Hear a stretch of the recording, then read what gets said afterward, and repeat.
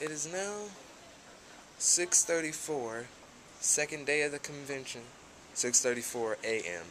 Second day of the convention, and right now I'm waiting until seven, where Jaron should arrive, so then we can put our stuff in his car, because we found we got enough money scrounged together, and we bought a room, so we stayed there for the night. Man, apples are so underrated. It's like apples are delicious.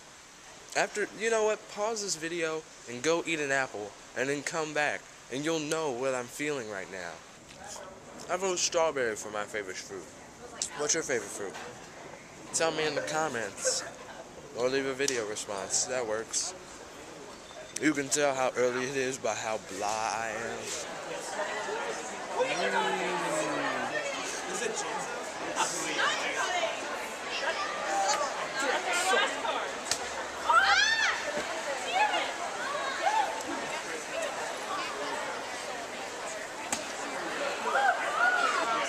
See some stuff you liked? See some stuff you didn't like? Okay, so I'm volunteering, and basically I'm at the registration desk. I gotta hand out these forms to people, making sure they get everything done so they can get in that huge line and wait. He thinks because I went away for a minute because I had volunteer time to do. I volunteer. Now, Well, I did mine. He thinks he got a little break, but now I gotta let him know. see this? This is the game we're gonna be playing. I'm No. gonna be I'm gonna be ponying. This is the game I'm gonna be I'm gonna playing, ponying. and he's gonna be losing. All right, but really, I got done with my volunteer work, and now we're playing Ultimate Ninja Storm. Waiting our turn. How do you feel about Ultimate Ninja Storm? Pretty good. Pretty good. Yeah. Yeah. I wish they made a Pokemon game like this, where you could play like Pikachu. could just and- fight. Yeah, where it's just a Pokemon. That would be tight. Yeah, I think I think that would be a good game. Yeah, I hate Pokemon Stadium. I used to like it, but then like it. after number two, I was like, "What is this?" Now they're just being ridiculous. Oh, oh, oh, oh! That's inappropriate, Neji. Stop touching Sasuke. You know what they say. Once you've been against Chris, you ain't gonna want no more of this. So Chris is mad at me because he just lost in an overwhelming defeat. Jinx! He's a jinx!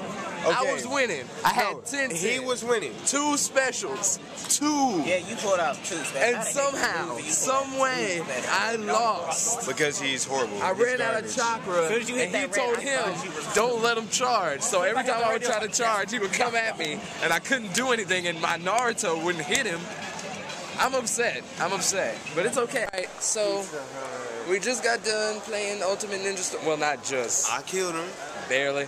Any hoozle. So we're heading to the buyer's room or the sell, whatever you, wherever you go to get stuff and look around and whatnot again. Ah, ah. I haven't run into Dean and them in a minute. I gotta go to the bathroom. Hold on. To the bathroom. All right, you guys don't need to see that. Party people. Um, I just had an interesting moment just now.